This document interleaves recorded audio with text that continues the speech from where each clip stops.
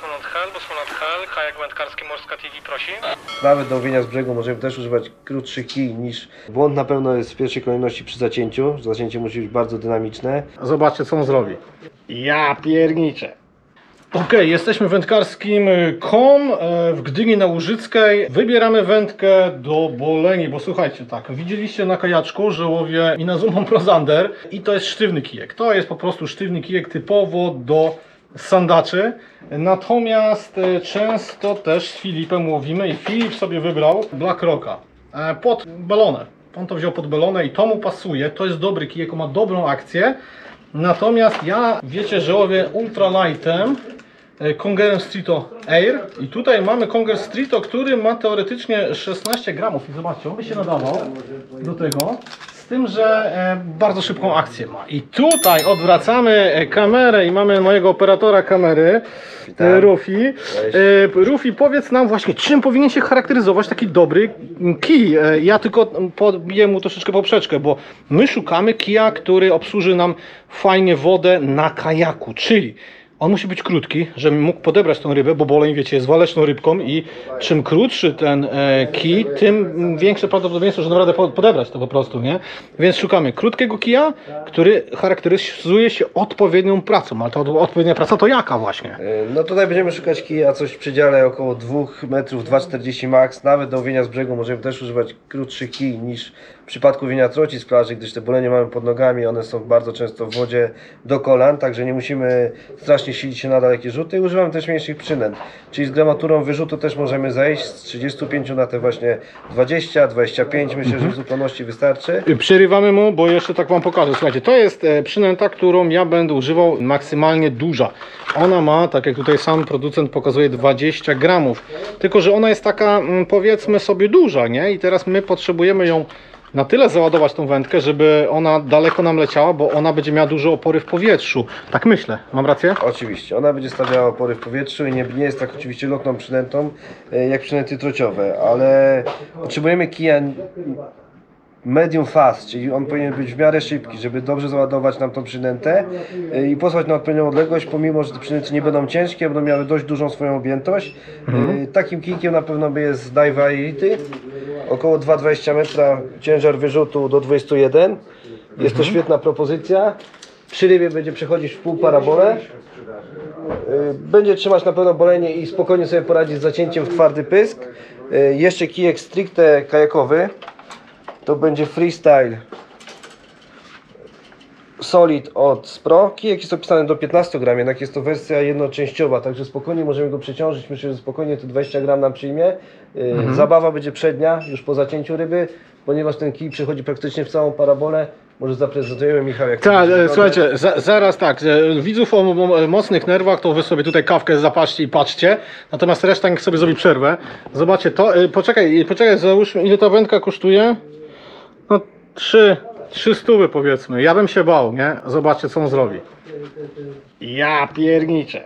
Także na kajaku na pewno będzie świetna walka. Ty kurde, ja się boję, tak tym bardziej w sklepie, nigdy bym w życiu z nową wędką tak nie zrobił, e, ale jedna ważna rzecz, zaraz to trzeba powiedzieć, słuchajcie, kupujecie wędkę, to od razu ją katujcie od samego początku, bo ona jest na gwarancji, nie? Także Dokładnie. jakby ma się coś zdarzyć, to niech się zdarzy na początku. Jeśli wędka z włókna węglowego ma nam strzelić, to ona strzeli nam na pierwszych trzech wyjazdach, to znaczy, że była wada w konstrukcji. Mhm. Jeżeli strzeli po pół roku, roku, to oczywiście gdzieś była naruszona podczas transportu, gdzieś musiał być ten węgiel uderzony. Mhm. Tak wędka nie ma prawa pęknąć, tylko i wyłącznie na początku. E, Ta dodatkowo jest, zobaczcie, taka króciutka e, i to chyba dobrze na kajaku, co? Krótka wędka, e, no tak słyszałem, że z pływadełek krótkie wędki są zdecydowanie lepsze. No bardzo będzie wygodnie na pewno samo podbieranie ryby, będzie dość proste yy, i spokojnie jesteśmy też w stanie manewrować krótkim kijem, jeżeli gdzieś tam nam ryba pod, podchodzi pod kajak czy, czy Mhm. pod bellyboata. Yy, Świetna zabawa, zwłaszcza na jednoczęściówce jest, te wrażenia są też dwa razy lepsze niż na kiju dwuczęściowym. Dobra, to właśnie nam jeszcze powiedz, jak z zacięciem e, tego bolenia, bo e, przed chwilą pokazaliśmy, że ta wędka charakteryzuje się tym, że się fajnie wygina, ale ma tyle mocy, że zatnie bolenia? Twardy No, pysk? plus jest tego, że ten kij jest krótki i tak naprawdę powinien sobie poradzić z zacięciem bolenia. Yy, chociaż no, gdzieś tam, jeżeli będą te ryby naprawdę duże, 70-80 cm, no to Aha. pewnie byśmy szukali czegoś z większym zapasem mocy, tak jak ta wędka Daiwa Elite.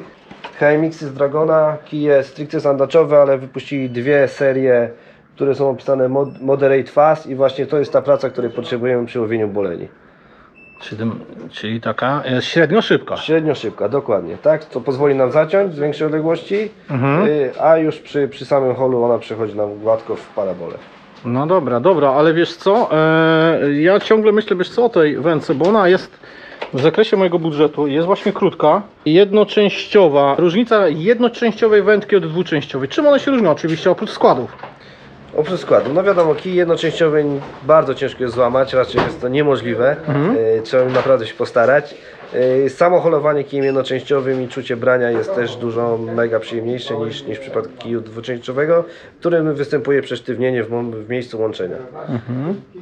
Dobra, e, odwieczny dylemat, e, żyłka czy plecionka? Oczywiście, że plecionka. Czemu?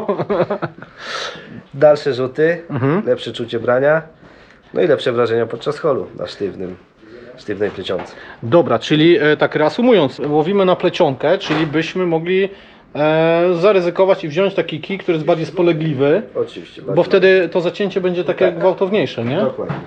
Bardziej budżetowy kijek mówisz e, pod brzeg, czyli dłuższy. Tak, oczywiście. Tu mamy kij Flash z Dragona, dwo- 21 gram wyrzutu. Występuje również w wersji 25 gram.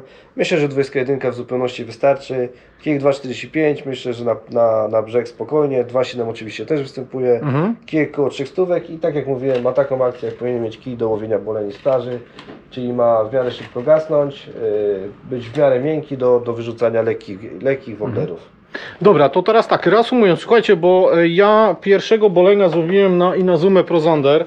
E, taki oto kijeczek, e, twardy jak cholera, muszę powiedzieć. Mimo tego, że była plecionka, mimo tego, że to holowanie było nieudolne, no bo to pierwszy boleń, to się udało go wyciągnąć. Gdzie popełniamy błąd, że boleń nam się potrafi spiąć? Bo słyszałem, że no, boleń no taka wymagająca rybka. Znaczy wymagająca na pewno jest trudna do złowienia, tak? bo pomimo, że go widzimy w dużych ilościach, ciężko jest go skusić do brania.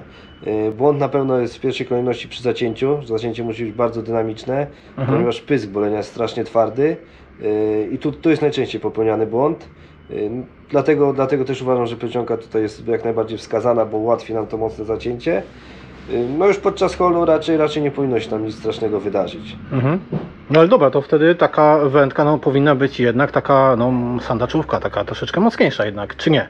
Tylko sztywnym kiju ciężko będzie nam e, załadować te woblerki, tak? Jest, Mhm. to, jest to takie troszkę, troszkę naciągane łowienie boleni. E, Oczywiście już tam gdzieś przy, przy holu ta ryba nie powinna nam spać nawet z bardzo sztywnego kija. No dobra, no to to jest właśnie to, z czym ja się borykam, bo mam to i na Zoomę Prozander i no taki sztywny, sztywna pała jest, trzeba powiedzieć, no bo te woblerki, e, tam pokazywałem wam ten cieńszy, ale ja mam te lżejsze, 12 gramów, to no w ogóle się nie ładuje ten kij i się bardzo ciężko im łowi. E, natomiast rybę da się wyholować, pomimo tego, że jest plecionka. Dobra, e, z tych tutaj kijaszków, słuchaj, jakbym wybrał tego, nie będą się śmiali, co, bo on, on mi się wydaje taki trochę Trochę za miękki, kurno. Ale, ale prze, przekonałeś mnie tym wygięciem tego kija, nie? No tutaj już, no może, no może oczywiście gdzieś tam być problem e, z zacięciem z większej odległości, Aha. ale weźmy pod uwagę, że z kajaka często będziesz miał ryby pod nogami, e, Mhm. czyli nie będziesz go zacinał z 60-70 metrów, Tak. no a frajda już podczas holowania będzie na pewno dużo większa niż w przypadku inazumy typowo sandaczowego kijka. No i to słuchajcie, nie wiem czy wchodzić w kije jednoczęściowe są lepsze? Naprawdę? E, Tak, e, naj, najwidoczniej to widać na pewno w sandaczówkach. E, Biorąc kij jednoczęściowy i dwuczęściowy, dwuczęściowy jest na pewno wolniejszym kijem i załadowanie też przynęty odległość też jest na, na plus kija jednoczęściowego, chociaż pierwszą jednoczęściówkę sprzedałem po miesiącu użytkowania, bo denerwowało mnie strasznie wożenie, ale wróciłem do tematu i jestem bardzo zadowolony. No ale ta jest krótka. Zaraz zobaczymy ile ona ma. 1,80 m. Ty, no 1,80 m to będzie chyba najkrótsza wędka w moim składzie. To, y, to nie za mało? 1,80 m? W zupełności wystarczy do połowy z kajaka. Okej, słuchajcie, jesteśmy po zakupach. E, powiem szczerze, zagadałem się z Rufim, to widzieliście na filmie. E, no i podzielimy to na dwa odcinki, czyli test tej wędki, którą wybrałem, a jest to ta wędka z Pro, e, będzie na wodzie. Ale żeby było ciekawie, zobaczcie, tam stoi druga wędka firmy Kunger. No i może być ciekawie. Także zapraszam do następnego odcinka Boleni z kajaka na Zatoce.